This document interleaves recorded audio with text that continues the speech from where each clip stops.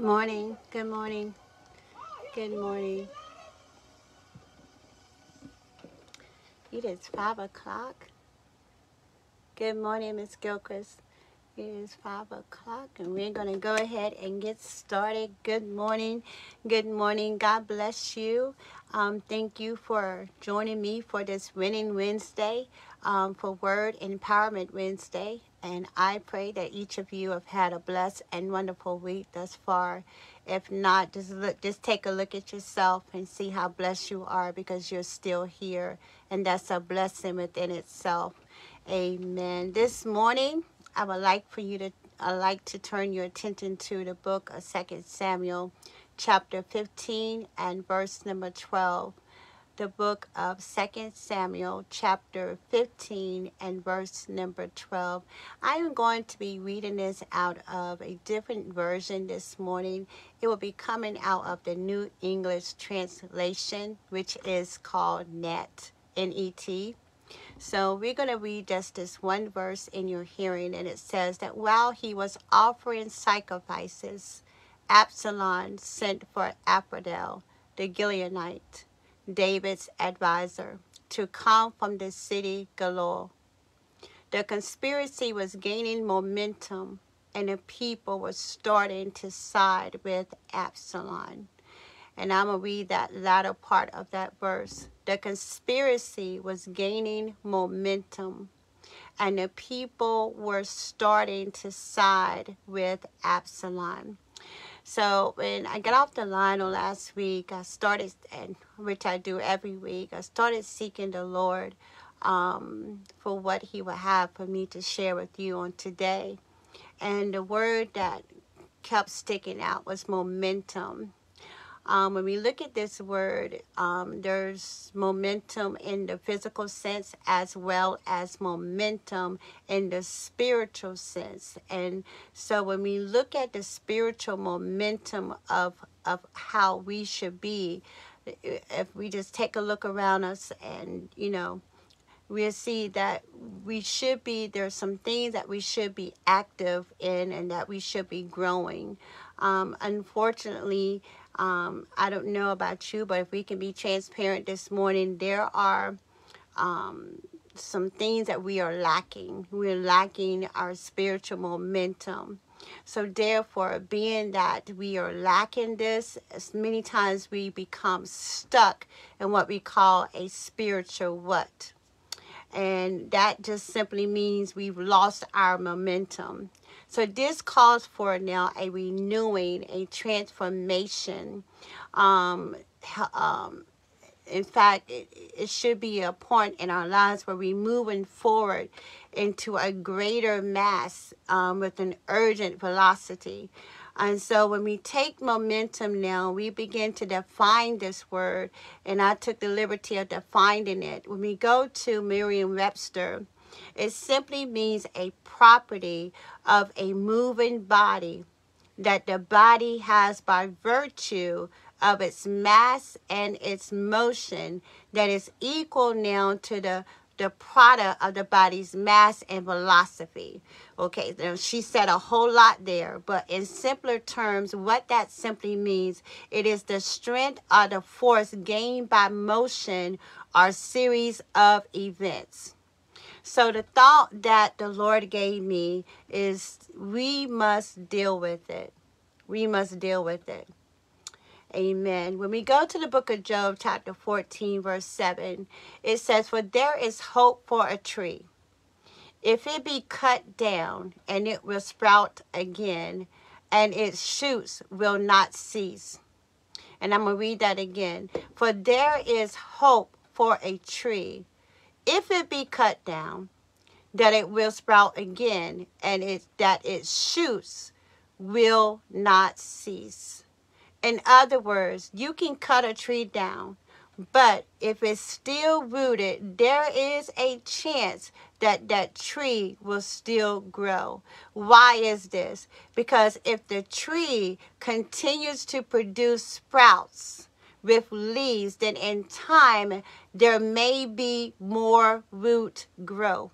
However, there is a solution remove any sprouts that develop from the roots as soon as they begin to grow.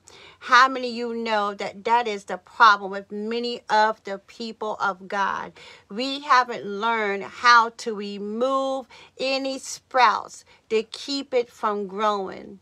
So it has been said now the production of these sprouts is to our advantage because in order to produce these sprouts, the tree must withdraw food stored in its root. So as you remove the sprout now, you begin to rob the tree of that stored food and reduce the size of the root by reducing the food that's stored in it. So it is that if we keep feeding now a stray cat, guess what? He's going to keep coming around. He's going to keep hanging around. And before you know it, they are, they are going to multiply. I learned this as a child. You can still call the, cat, the cat catcher all you want, but until you deal with the sprouts, the root of the problem, you're simply wasting your time. Good morning, Mom. So, and if the root problem is messing up your sewer system now and it is in a older type, then it would eventually get worse. Why? Because the older types are prone to leakage. So the older it is and the longer you hold on to it, instead of dealing with it, my God, you're going to have problems. Mm. So many times we hold on to things from where we was a little child. So many times we hold on to stuff that really don't matter. But until we deal with the matter at hand, it is going to sprout up and you can cut that tree down all you want, but it is still going to be a root problem. And so it is. And we look at the text this morning. Absalom had a problem with his father, King David. David, who in turn also had a problem. Why? Because they did not learn how to deal with the issue at hand. Instead, what they began to do now was to sweep it under the rug. Hmm. How many of you have been told as you were growing up, what goes on in our house, stay in our house? Yet there's a problem and we neglect to deal with it. My God. Good morning, cousin. And so here we find that as we look at Absalom now, he was praised for being handsome. And in fact, he was the most handsome man in all Israel. He was flawless from head to toe.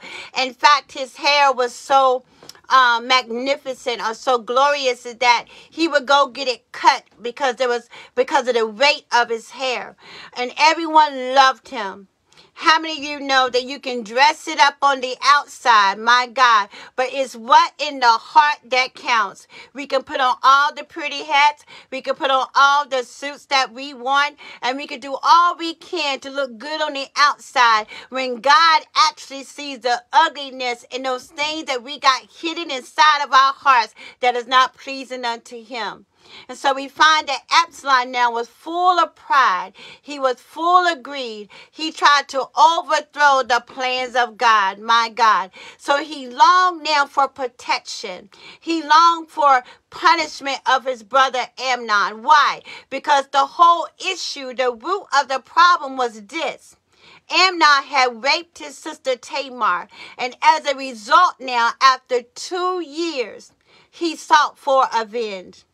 He invited all of David's sons to a feast just so that he can plot and kill his brother Amnon. Understand and know this that it is that what happens now when we don't deal with the problem at hand. When we hold on to stuff, eventually it's going to cause us to do some things, my God, that we should not do. And so we find that he had the spirit of retaliation and the spirit of rebellion. My God, one thing led to another. And the Bible declared now that Absalom, he began to undermine his father, King David. He spoke against the man of God to the people, which leads me to my first point. Point number one we got to be careful how you speak how we speak against god's people. My god. For the bible tells us that absalom he went to hebron and he gathered up an army and he spoke against his father and he sent messengers throughout the land proclaiming now his kingship he thought he was doing a good thing. All he was trying to do was trying to get the people to go against his father so that he could be the king. My God. Which brings me to point number two. Don't fight fire with fire. Oh, I don't care how many times they speak against you. I don't care how many times they talk about you. I don't care how they ostracize your name, put your name on a signpost. I do not care how they treat you. It's not how they treat you, it's how you treat them back. Don't fight fire with fire. I know sometimes we want to retaliate and take matters into our own hands, especially when someone has wronged us. But I want to tell somebody this morning as Paul declared in Romans 12 and 19. He said, Beloved, never avenge yourselves, but leave it to the wrath of God, for it has been written, Vengeance is mine. God said, I will repay. Mm, my God, I will repay. So when David now, when he began to hear of what his son was up to, he and his followers fled Jerusalem. Mm. He said, "You know what? Instead of having a confrontation with my with my son, I just leave. Sometimes you just got to learn how to turn the other cheek. I know it's hard. Sometimes you just got to walk away." You don't have to respond to every every comment. You don't have to respond to every remark that someone says to you. Do not fight fire with fire. My God. Number 3, be careful of who you listen to, especially when you are in your vulnerable moments. And I say that again. Be careful who you listen to. In fact, I'm going to go a step further. Be careful who you sound off to, especially in your vulnerable moments. You want to know why? Because the enemy knows how to set up devices for your downfall. Yeah, he's he's watching, he's raiding, and he will use it against you. In the court of law, what did it say? You have every right to remain silent instead of sounding off to somebody, instead of listening to everybody else, learn how to go to God. My God. So the Bible says this that Absalom, he took the advice from his counselors on the best way to defeat his father. and, get, and which brings me to point number four. The very thing a person now that lifts you up will bring you down. Just take a look at Jesus. The very ones that praised him on Monday were the very ones by the end of the week was saying crucify him.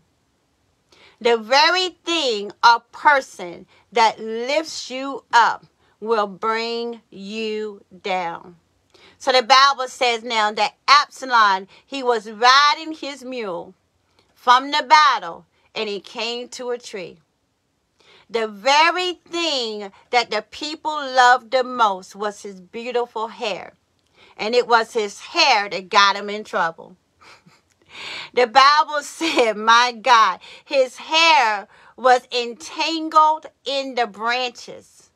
And guess what? The, the what brought him there left him there. The Bible said the mule left him and he was left hanging in the air helplessly. Why? The mule left him. His hair was tangled up. And the Bible says while he was hanging there, that gave Joab the opportunity to kill him. The very thing or person that lifts you up will bring you down. This is why we have to be mindful and we have to be careful when praises, when people begin to praise you And I've been taught this in ministry. When people praise you, you get it off of you and you you put it on God because it has nothing to do with you. You got to be careful now when people begin to give you accolades because everybody's not for you. Oh yeah, the enemy got some jealousy in the camp. The enemy got some people that is waiting, my God, to attack you. Which bring me to my last point. I told you we must deal with it. Those sprouts, we must deal with the sprouts. Absalom took matters into his own hands. He followed unwise, ungodly counsel, and he will begin he began to rebel against his father. I wonder this morning now, what would have happened if there was some type of line of communication between my God, Absalom and his father?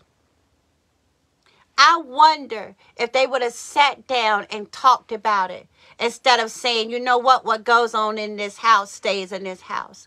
I wonder now what would have happened to many relationships today if we would learn how to deal with it. No, we see wrong and we just let it go.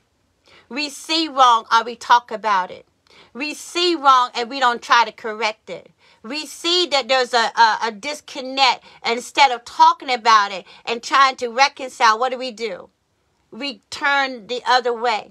In fact, instead of going to the person, we we make assumptions. Mm, my God, we see him in church. So, so my my my um way out or my escape is to do what? To walk the other way because I don't want to deal with it. I wonder now if things would have turned out differently. Because here we have Tamar, which is the root of the problem, was raped by her brother. Absalom was so angry. David didn't deal with it. So now we got a problem.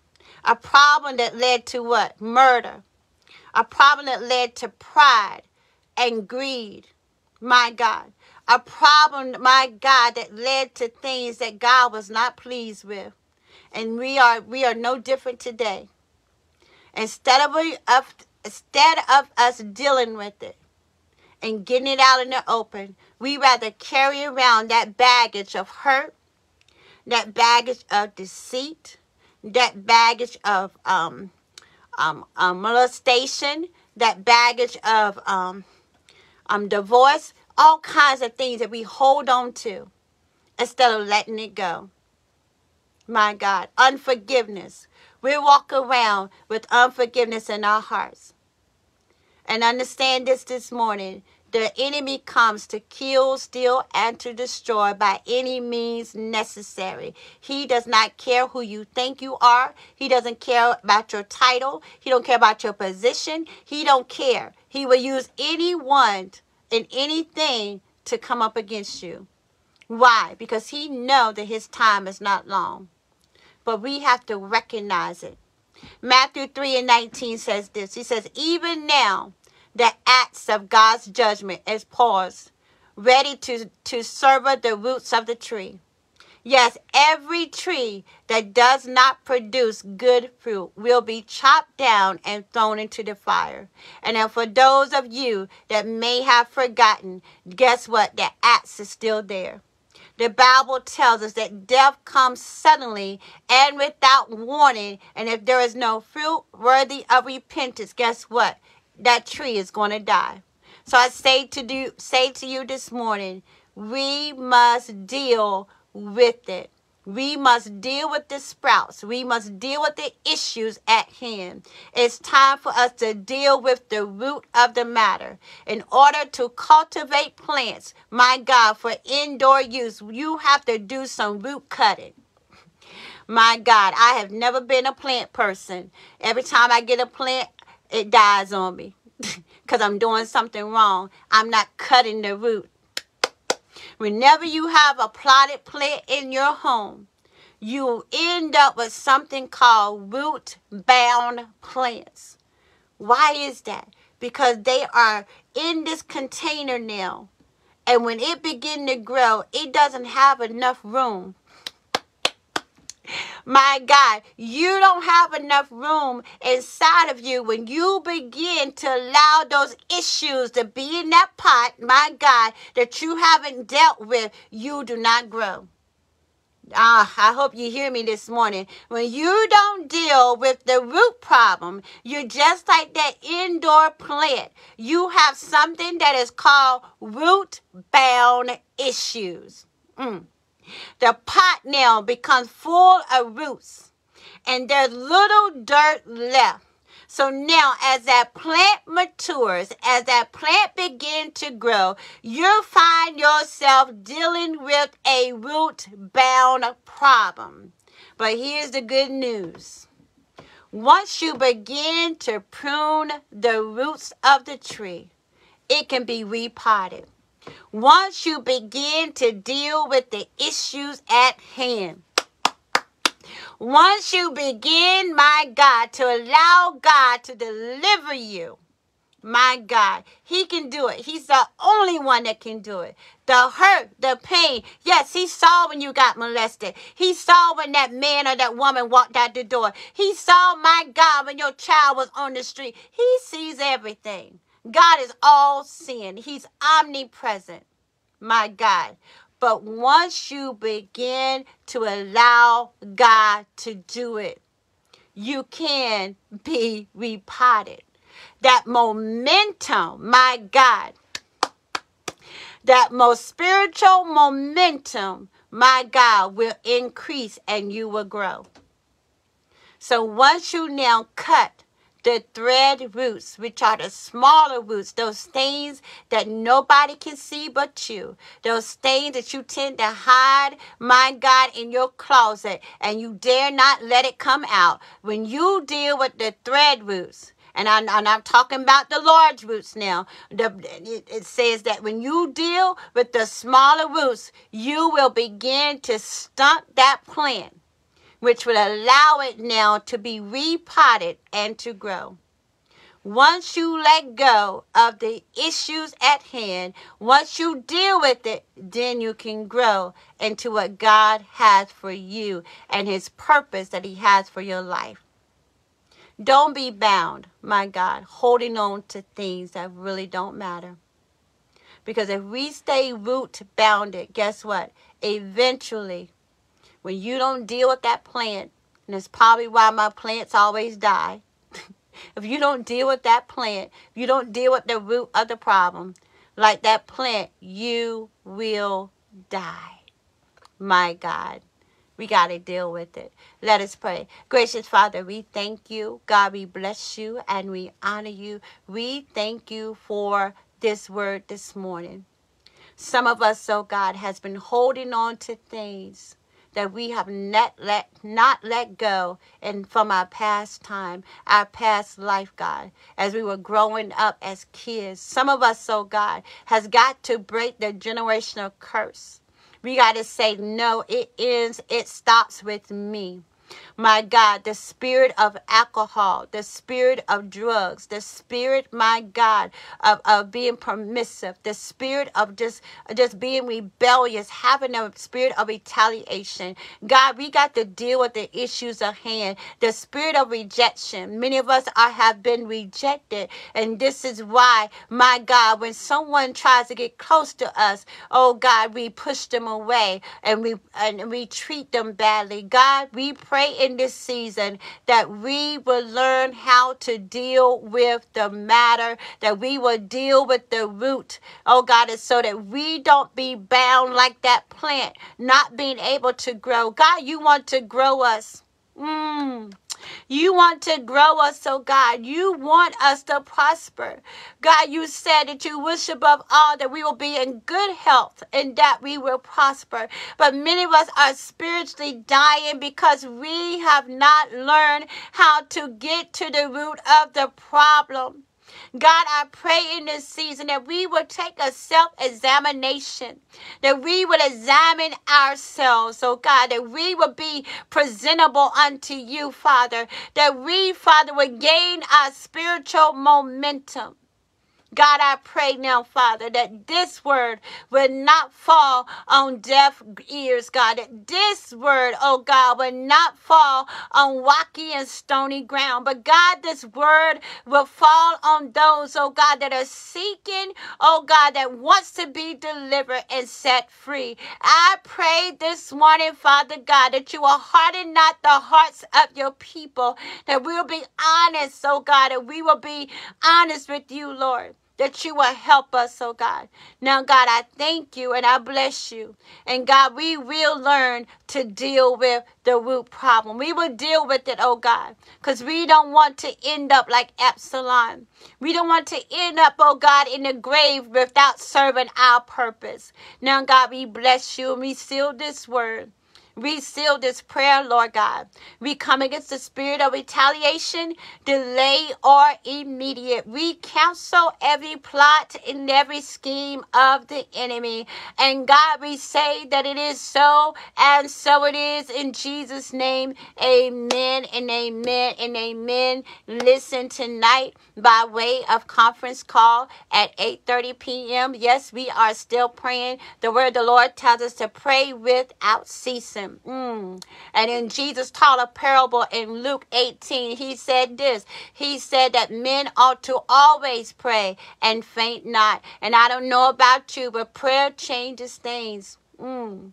And the one thing that the enemy desires, he desires to take your prayer life. Listen, you don't have to pray on the line. I will do the praying. If you want to pray, you can pray. Just join us at 8:30 p.m. as we come together and we seek the Lord, my God. And and, and if you can join us tonight, when all you have to do is just dial in, put your phone on mute.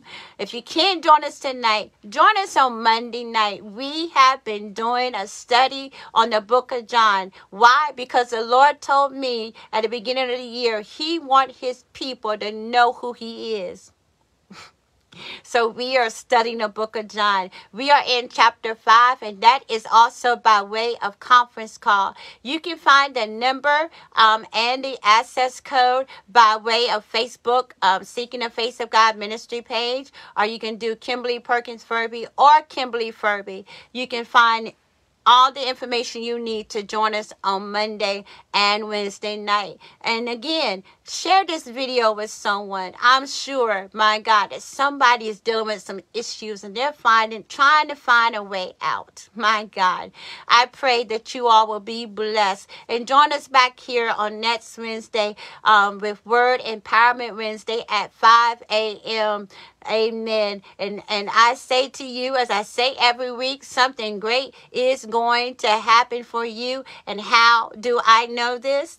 Because we serve a great and mighty God. Guess what? He cannot fail and he never will. I don't care what happens. I don't care what goes. He cannot fail. In fact, he even left us a promise that he'll never leave us nor forsake us. So I say to you, go and make today great. Why? Because you are the apple of God's eye. God bless you.